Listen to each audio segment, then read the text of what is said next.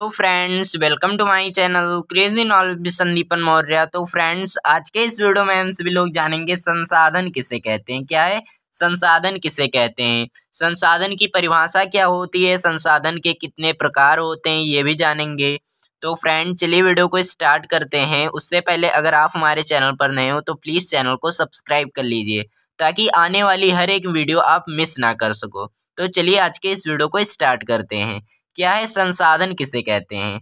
अगर मैं आपसे पूछूँ कि संसाधन किसे कहते हैं तो देखिए, इस पृथ्वी पर जो चीज़ें हमें दिखाई देती हैं या जो चीज़ें नहीं भी दिखाई देती हैं तो वो सारे के सारे क्या हैं? संसाधन हैं।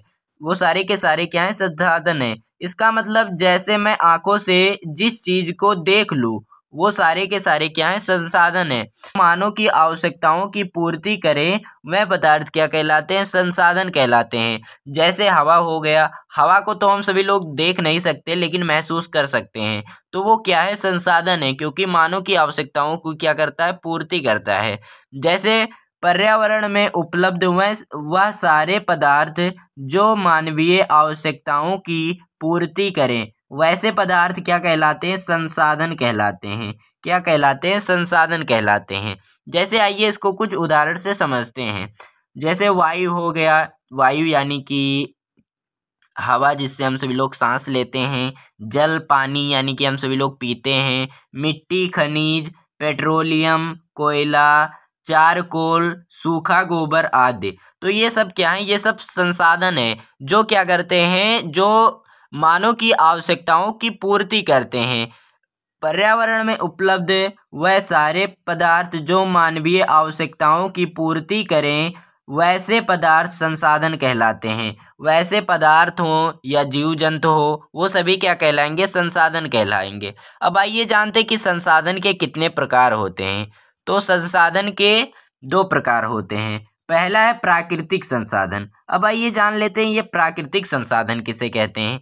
तो प्राकृतिक संसाधन उसे कहते हैं जो ईश्वर ने बनाया भगवान ने बनाया हो। जैसे वायु हो गया, जल हो गया, मिट्टी हो गया, खनिज हो गया तो ये सब क्या है? ये सब प्राकृतिक संसाधन है। प्राकृतिक संसाधन किसे कहते हैं?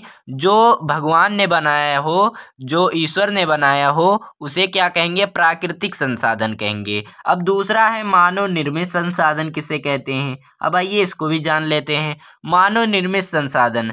जो मानव ने बनाया हो। जैसे मानव ने क्या क्या बनाया है? वाहन हो गया, पुल हो गया, सड़क हो गई, मशीनें हो गई तो ये सब मानव ने बनाया है।